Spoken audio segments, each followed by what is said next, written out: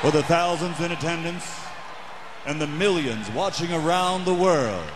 ladies and gentlemen, uh, let's get ready to